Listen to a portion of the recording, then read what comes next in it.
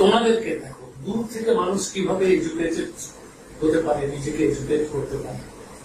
ছেলেটা দূর থেকে আসছে, প্রবাসে থাকে একটি ছেলে।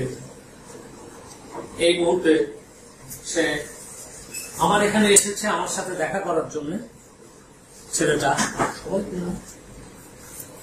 আমার এখানে এসেছে। তো এইগুলোকে বলা হয় অ্যাফার্মেশন মানে ও সত্যতা স্বীকার করতে আমার এখানে এসেছে আমার সাথে দেখা। এই ছেলেটি কিছু না, সে শুধু উদ্বুদ্ধ হয়েছে। আমার কাছে কোর্স করে কিন্তু উদ্বুদ্ধ হয়ে আমার এখানে আসছে। আগামীকাল ও কোর্স তোমাদের এটাই করাবো, আগামীকাল।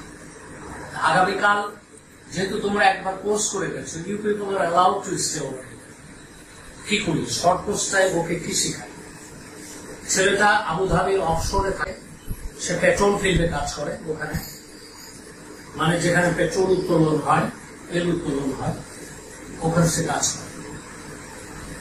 না না ওই দিক থেকে না, এক জায়গায় দাঁড়িয়ে থাকবে এদিক থেকে।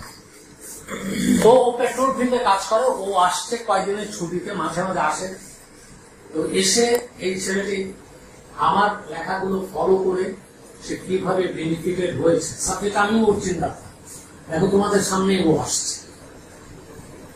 কাজে এটার একটা সত্যতা আছে। তো বাবা তোমার নামটা যেন কি? শাহিন শাহিন শাহিন আসো উঠে আসো আমি তোমাদেরকে শাহিনের সাথে পরিচয় করিয়ে দিচ্ছি। একটা ছেলে তরুণ বয়সে তরুণ একটা ছেলে। সে আসছে প্রবাসে থাকে দীর্ঘদিন। কত কাল আছো তুমি? দশ বছর সে সেখানে থাকে। ওখানে চাকরি করো মাঝে মাঝে বাংলাদেশে আসে।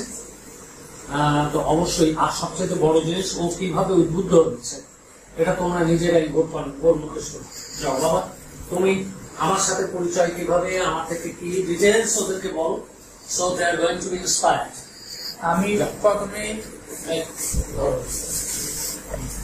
ফেসবুকের মাধ্যমে স্যারের সঙ্গে পরিচয় স্যারের লেখাগুলো আমি অত্যন্ত মনোযোগ সহকারে দৃঢ়ভাবে এগুলা পড়ি এবং ফলো করার চেষ্টা করি।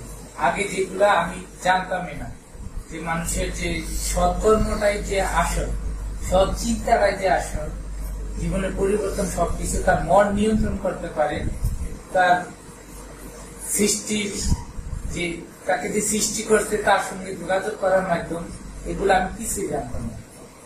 আগে শুধু জানতাম যে মোল্লাদের যে কাজ করবে এগুলা করলে স্বর্গ নরক পাওয়া যায়, আর কোনো কিছু লাগে না। এগুলা থেকে আমার সম্পূর্ণ আমি কত এই দেড় দুই বছরে সম্পূর্ণ আলাদা আমি চেঞ্জ হয়ে গেছি। এবং এখন আসছি স্যারের সঙ্গে দেখা করার জন্য। স্যারের আদেশ, উপদেশ এগুলো গ্রহণ করব আমি। জীবনে পরিবর্তন করব, অন্ধকার থেকে আলোতে আসতে চাই আমি। আগে সম্পূর্ণ অন্ধকার জগতে ছিলাম। এখন আলোতে আসতে চাই। স্যারের সঙ্গে দেখা করব চমৎকার। Of course.